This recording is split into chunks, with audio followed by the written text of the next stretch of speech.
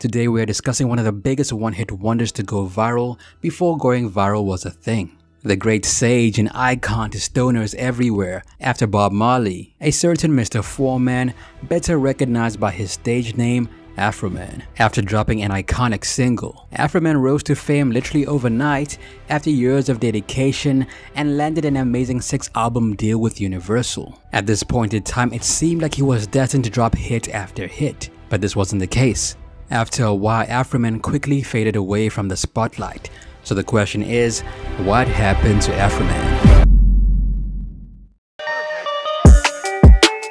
What up guys, Ali here and welcome to Ali Talks Music. Add me on Instagram at Ali Talks Music as well. And don't forget to subscribe and hit the notification bell.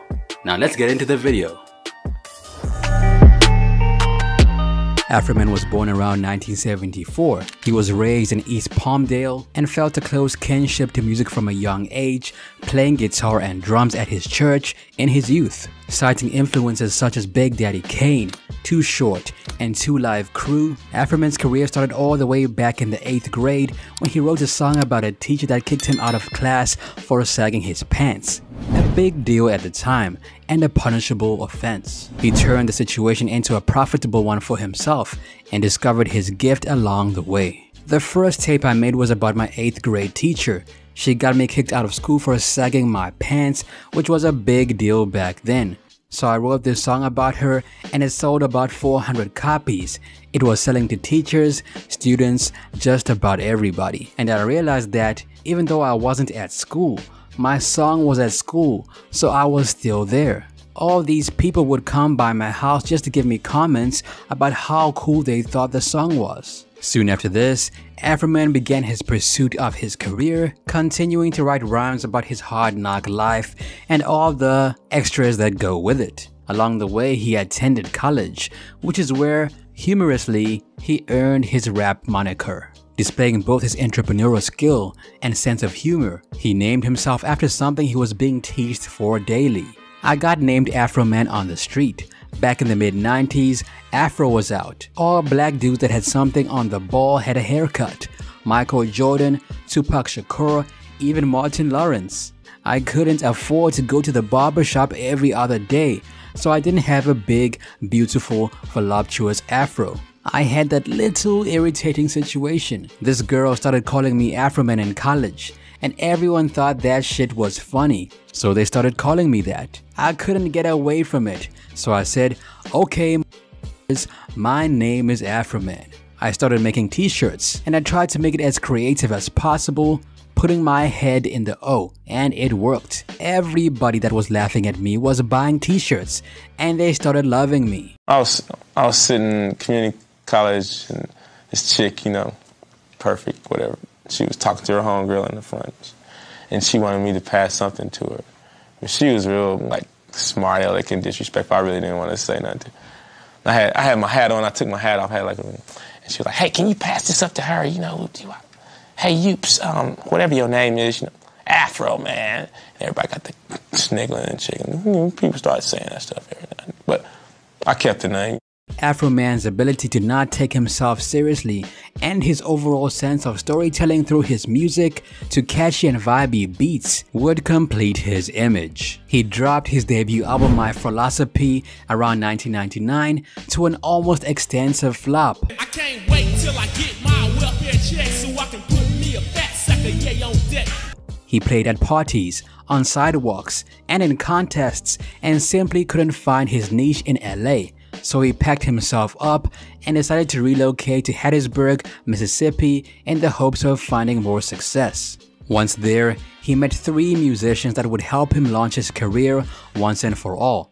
A drummer named Jody Stellon, a keyboardist and bassist named Daryl Havard, and the producer Tim Romanowski, also known as Headfridge. Headfridge was the founder of his own label called T-Bones, and after stumbling upon Afroman, he immediately signed him to his label and began production work on his album. The album was titled Because I Got High and featured the titular track. I was gonna clean my room until I got high. At the time, it didn't do exceedingly well, but it still topped the New Zealand chart and the album was scored 3.5 stars out of 5 by AllMusic. I recorded it, you know, I wrote it, you know, wrote it, recorded it, and um, put it on the CD, and I, I sung it. It's, it was funny, like no matter where I'd sing it, like like people who you wouldn't think would react would react. You know, I didn't I didn't sung everywhere because I couldn't get a gig nowhere, so I'd play anywhere, you know. And I sometimes I'd be in biker clubs, sometimes I'd be in like I don't know, like punk rock club, whatever. But like any opportunity I had to sing it, I'd sing it, and I always had the CD available right after I got through singing. So I get up there, yeah, I open up for your band, you know, hey, get up there, open up, man, hurry up. Okay, no problem. Get up there, sing, bam, you know, don't watch it, man. I'd sell all the CDs, man. Make more than the band I opened up for. Following the album release, Afroman immediately got to work on his sophomore attempt, Sell Your this time exclusively produced by himself and dropped through T-Bones as well as his own newly launched label Hungry Hustler Records. Sell Your was released barely three months after Because I Got High and featured his other smash success single, Crazy Rap, also known as Colt 45 singing them dirty rap songs. Stop and hit the like Both albums came out around the year 2000 and generated a little bit of buzz for the rapper. While passing out CDs at a party one night, one of his friends grabbed the disc and uploaded it to Napster. Nowadays it's an online music store, but back then it was an MP3 audio sharing site. Less than 48 hours later, the song Because I Got High was making waves around the world, landing a spot on the Howard Stern show where it was played to a national audience for the first time and securing it in memory. I went viral before viral was viral. Napster put me in a position to be signed.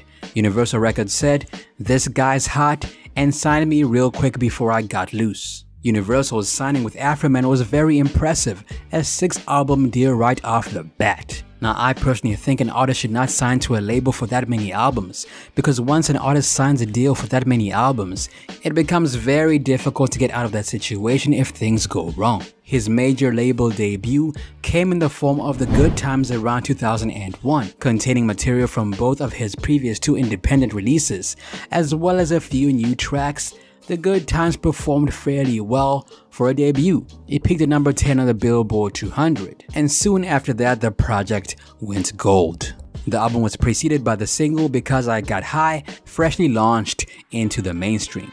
I was gonna clean my room until I got high. the song performed well in America, but even better around the world. It topped the charts across the world including Australia, Germany, Scotland, and the UK, and earned impressive certifications in multiple countries. The song was actually inspired by true events after a friend of Afroman's came over to smoke. He agreed, stating that he would clean his room afterwards, but then some girls came over and it turned into a party after which his room looked even worse. This is where the inspiration for one of his biggest hits comes from. I threw the mishaps in there so people wouldn't be on my ass too much. The wrong person might feel like I'm trying to get their kids to smoke and I'm not trying to do that.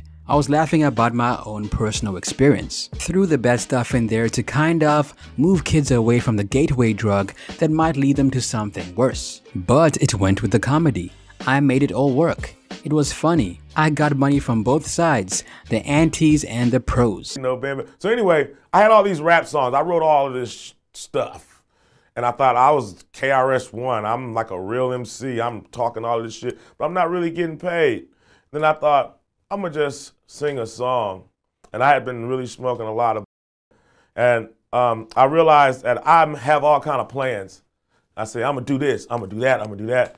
Then I smoke a joint, and I play some music. Next thing you know, the sun's dropping, girls is coming over, homies just I didn't do none of that shit. I had a great damn day. And then I then I so even though it took me like two minutes and eleven seconds to write the song, it took me about six months to realize that once I lit up that like I wasn't doing as much as I would like to do. Following the major international success of Because I Got High, the second single of the album was called Crazy Rap.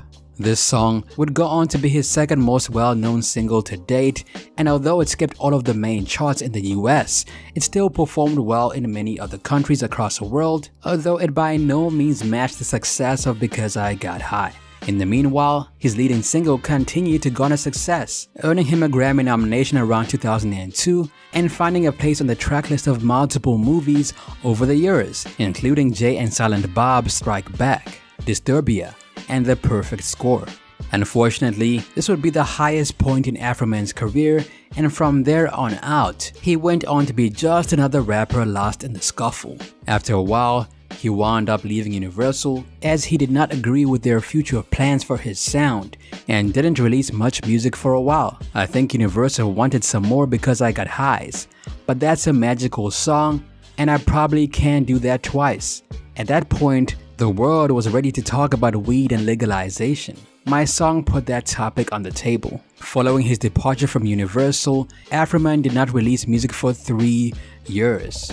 He did a brief stint in comedic acting, landing a role in the direct-to-DVD film Dodge City, a spaghetto western. Of course, when he did return to music, it was with a vengeance, dropping four albums around 2004 through his Hungry Hustler Records. The first album, Afroholic, The Even Better Times, peaked at number 99 on the R&B chart and was soon followed by Jobe Bells. This was followed by 4020 and The Hungry Hustlers, Starvation is Motivation. Hell yeah, homeboy, I just seen Big Draws. Big draws. Rolling on D's, getting chased by the laws. After another two-year break, he dropped Drunken and and another festive parody, A Colt 45 Christmas. By this point, I think Afro Man began to realize that he would never match the success of Because I Got High.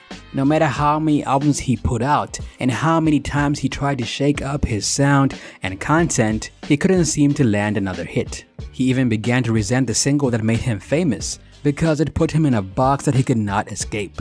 It's almost like the concrete is poured on me and dried. Crowds come out and I gotta sing this and I got to sing that.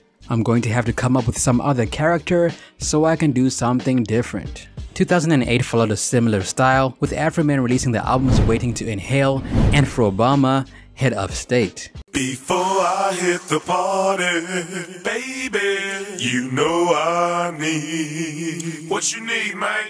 What you need, man? Afroman continued to perform his old hits, but didn't release any new music for several years. Around 2011, he had the whole world chuckling when he got too high and flat out forgot that he had a performance to attend. In the process of getting into the correct vibe, Afroman completely forgot that he had a performance to attend and fell asleep with his hand inside a packet of potato chips. When he woke up, he had completely missed the performance. In the ultimate irony, the club he was supposed to perform at called the Patio Music Club sued him and he was served his papers nine days later. Following the concert situation, Afroman continued to keep his head down and maintain his lock on new music for another two years until around 2013. After this, around this time period, he completely gave up and being anything other than a weed-fueled rap artist. He then dropped Marijuana Music, and around 2014, he followed it up with The Fro Rider. That same year, he released a remixed version of Because I Got High in order to highlight the usefulness of cannabis. Then around 2015, Afroman made headlines again, but not for good reasons. After walking about half a mile to perform at Mardi Gras in Mississippi, the rapper was irritable and frustrated. This situation was made worse by a male heckler in the audience and needless to say, Afroman was not in the best of moods. That's why when someone approached him from behind while he was performing, he turned around and clocked them so hard in the face that they fell to the floor. The only problem was, it was a woman. After knocking the woman down to the floor, Afroman then continued to perform his songs. Now this situation did not blow over. The clip wound up on NBC News. And soon after this, the internet brought up another incident that happened earlier in the year when he body slammed a man off the stage in a similar circumstance. The man clearly does not like being interrupted when he's performing. Now police then stopped the show and security escorted Afroman off stage where he was arrested. The rapper later paid about $330 bond. He later released a public apology admitting that he had been anxious and unmedicated at the time. The woman who was hurt in the incident chose to sue both Afroman and the company that owned the venue. On Afroman's part, the lawsuit was settled outside of the public eye and he returned to making music. And over the years, I'd be rapping and girls would get up on stage and they was, you know, I want to be like, okay, this chick likes me, she whatever. But in reality, she's saying, you, it's all about me. You know, it's competing with me. You know what I'm saying? Then you got people that want to do humiliating shit to you and put it all up on YouTube. And then when one group of people see people doing shit to you on YouTube, you get this whole percentage of humanity that starts coming to your show and they want to do it too. And then it becomes this trend. And uh, you got fans then you got people that aren't fans of you, but they'll come to heckle your act to entertain themselves. Around 2016, the man dropped the album Happy to Be Alive, followed by 2017's Cold Fro T5 and Two Frig Frags. He then took a bit of a break from music thereafter until COVID hit. This is when Afroman went crazy as far as music goes. We simply can't list them all, but around this time period, he dropped about 16 projects. Yes, you heard me right. 16 projects on Spotify in one month, although admittedly, most of them were from his old mixtapes from his years prior. This was followed by another three projects in September of 2016. His sole album release for the year was Save a Cadillac, Ride a Homeboy. And let's just say this project did not do very well and didn't hit any charts. Ding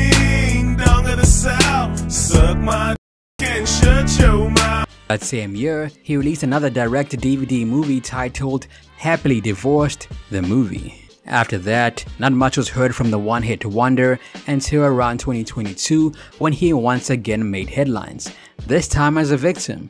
Around August, the rapper's home was raided by law enforcement who were apparently on the hunt for narcotics. Afroman shared the whole event on Instagram with clips from his home cameras. Luckily, the police came up empty-handed and the only thing they found was a vape pen, a jar of and a couple of joints. Today, the rapper is still very active in the music industry, his most recent release being the album Lemon Pound Cake and the single Sign My He's still very active on social media, and you can catch him on Twitter using the handle at OGAfroman, where he can be seen with a wide variety of women and their appendages all up in his face. The man doesn't seem to be married, but he has a son whom he often posts on Instagram. Mainly, he can be seen looking like a 90s pimp with big puffy suits, all in one extravagant color or pattern, and also rocking massive golden rings and chains for some reason. On Spotify,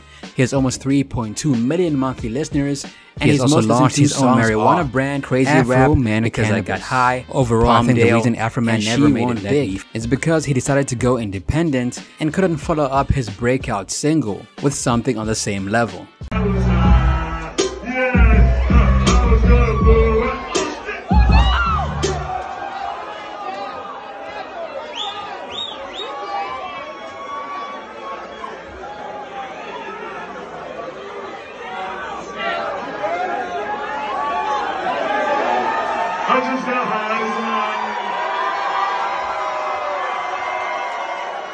That's it for me, it's your boy Ali. What happened to Afro Man in your opinion? Let me know down below. Video requests, be sure to let me know down below as well. New what happened, to video dropping soon. Also add me on Instagram at Ali Talks Music. Till next time, peace. Perfect.